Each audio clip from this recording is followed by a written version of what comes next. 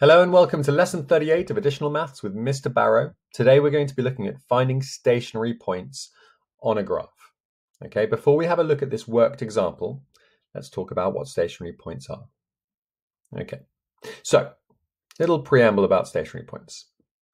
So if we have this this function here, this this graph of this function, y equals f of x, it has lots of turns in it.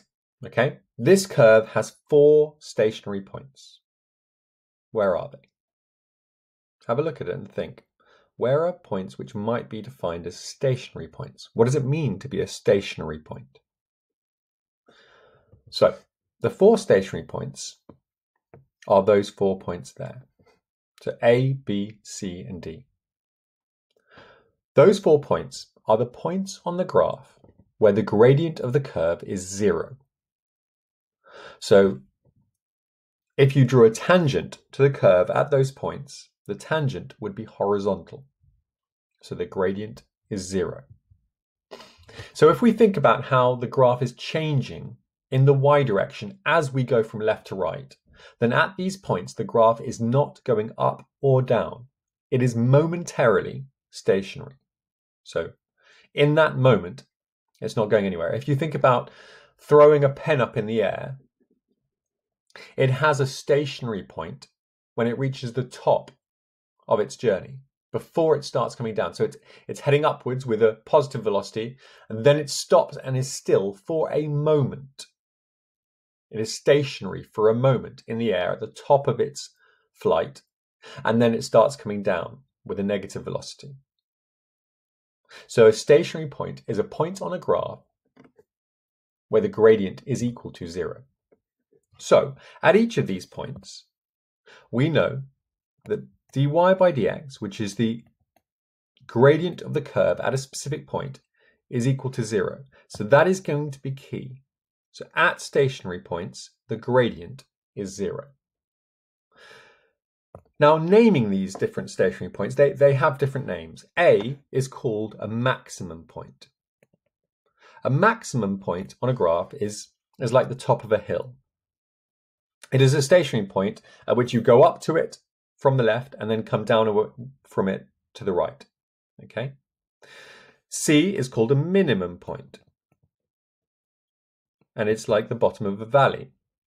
Okay, so you go down towards it from the left and then you go up away from it to the right. B and D are called points of inflection. And depending on where you are, you will spell the, the word inflection differently.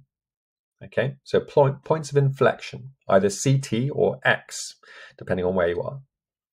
Okay, so points of inflection are points which are have a gradient of zero, but are not maxima or minima. Okay, so um, at B, for example, you go down towards it and then you go down away from it. So it's on a general downward slope, but it's a it's a point which is momentarily gradient of zero at that point there. Okay. Um, the maxima and minima do not mean that they are the maxima or minimum point on the entire graph. For example, point A is not the maximum point of the entire graph. You can see points over here, okay, as we go on onwards, y equals fx, which are above A. So A is not the greatest value of y. It is simply, it's known strictly as a local maximum. It is the maximum point in a small region but we just call it in general a maximum point. Okay, same with C. C is a minimum point, although the graph does have points which are lower than it. Okay, so it is called a local minimum, but we just call it minimum for short. Okay, so let's have a look at how we put that into pro into into practice with our example here. So what we want to do with this example is we want to find the coordinates of the stationary points on this curve, this cubic curve y equals 2x cubed minus 3x squared minus 12x plus 4. And we want to use those to sketch the curve. So having maxima, minimum points, stationary points will help us to draw relatively accurate sketches of different curves.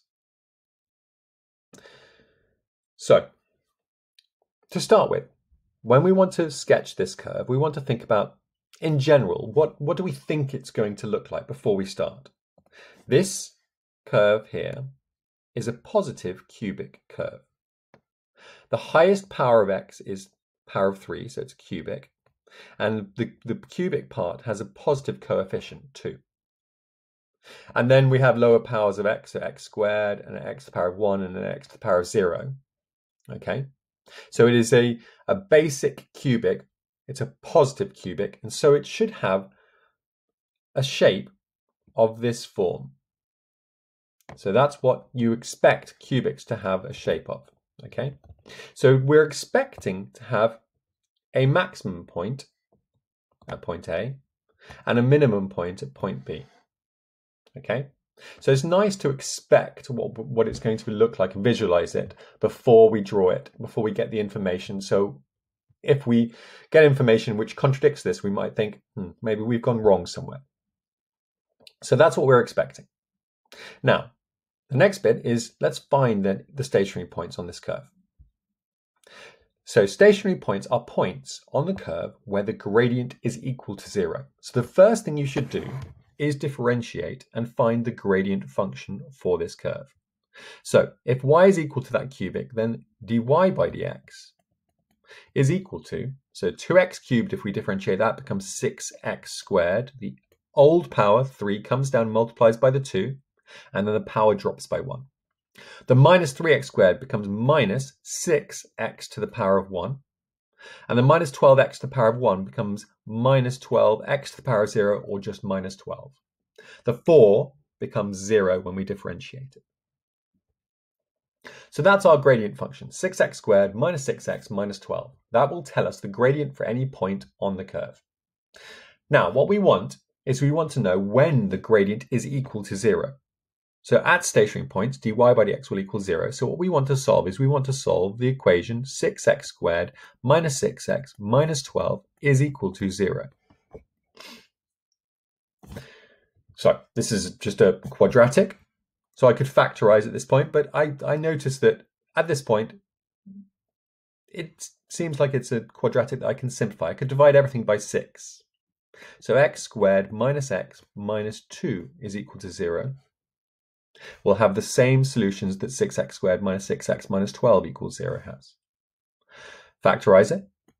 So x minus 2, x plus 1 equals 0. And therefore, I know that x is either equal to 2 or x is equal to negative 1. So what are those points? What, what, what, is, what does that mean? Those are the x values at which the curve has a gradient of 0. So those are the x coordinates of our stationary points. At this point, we want to find the y coordinate for each one. Okay, so we look back at our original function, y equals 2x cubed, so this original part of the question, and we've used that to find the y coordinates. So for the first y coordinate, when x is 2, we substitute 2 in as our x coordinate in y equals 2 times x cubed minus 3 times x squared minus 12 times x plus 4. So I'll just do a little bit of working out over here. So when x is 2, y will equal 2 times 2 cubed minus 3 times 2 squared minus 12 times 2 plus 4. And that equals negative 16. Okay, so I've got my y coordinate. When x is 2, y is negative 16.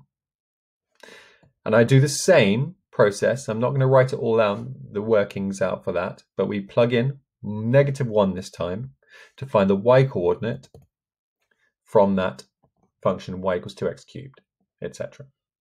And you get y equals 11 for that coordinate when x is negative 1. So the stationary points, and I'm going to go from left to right the leftmost stationary point is the coordinate minus 1, 11. And the one on the right is 2, minus 16. Those are the stationary points. Okay, so we have our two stationary points, which on our expected graph were A and B. Now, I'm going to start to sketch the function y equals 2x cubed minus 3x squared minus 12x plus 4 on a graph with those two bits of information and one other bit of information as well, the y-intercept. So have a think about what the y-intercept might be on the graph.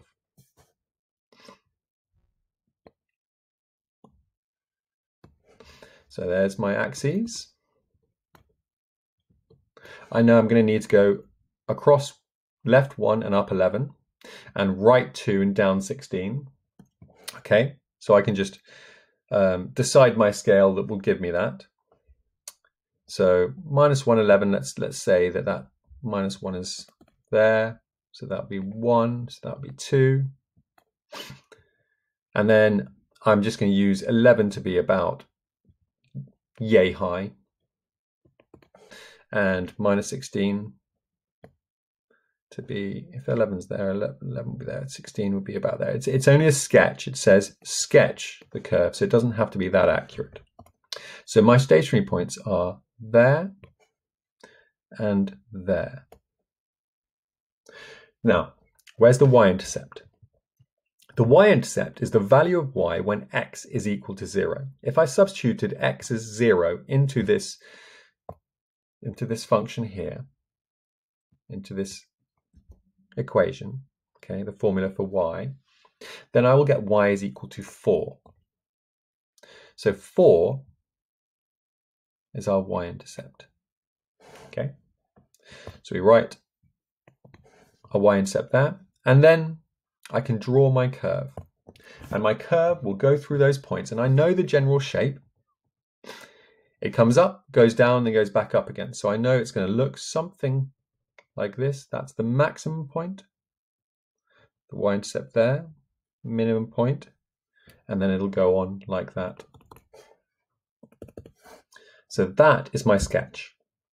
I haven't worked out the roots, the, the roots which there are clearly three roots of this function. I haven't worked those out because I haven't been asked to.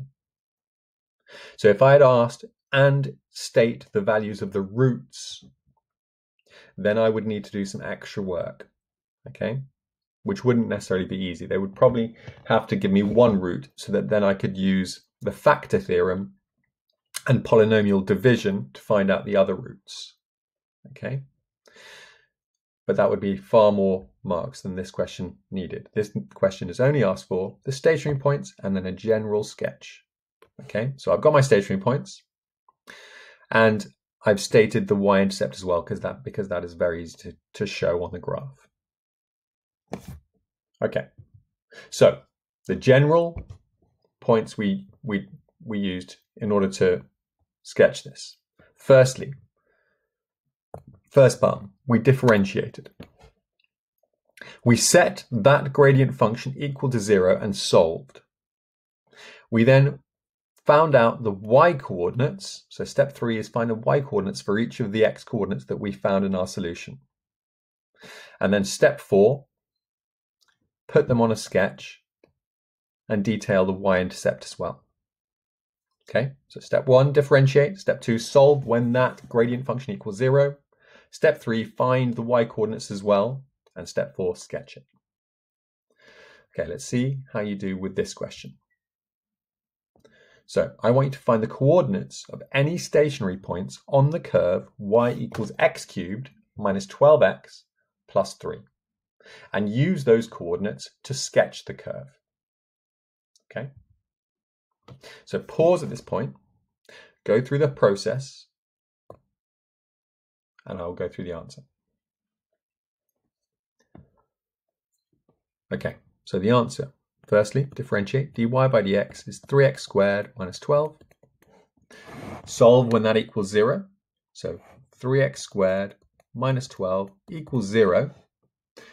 Well, for this, this is a basic quadratic which doesn't have any x part, so you can simply um, add 12 to both sides, divide by 3, and find out what x squared equals. Okay, so or, or divide by 3 to get x squared minus 4 equals 0. You can either factorize at this point into two brackets or state x squared equals 4. Okay, this one has is nice. It's the difference of two squares, so it's x plus 2, x minus 2 equals 0, which means that x is either negative 2 or x is positive 2. And you would have gotten that as well if you'd done a different path from that point and added 4 to both sides. So x squared equals 4. So if x squared is equal to 4, then x is equal to the positive or negative square root of 4. So it's positive or negative 2. Okay. So those are our two x values. Now, to find the y values, we simply substitute those x values into the original function. When x is minus 2, y is equal to 19. When x is 2, y is equal to negative 13.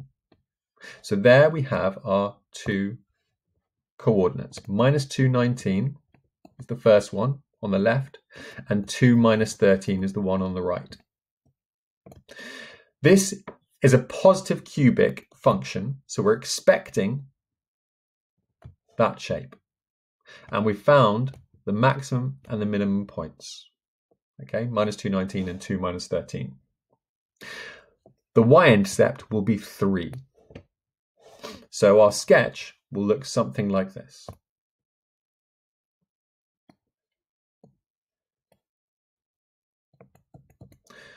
We know minus 219, so 2 left, 19 up. and then 2 right and 13 down, so it's not quite as far down. And the y-intercept was 3. Let me write down the equation of the function. y equals x cubed minus 12x plus 3. So we've got that. So it goes through at 3. And so our graph will look something like this.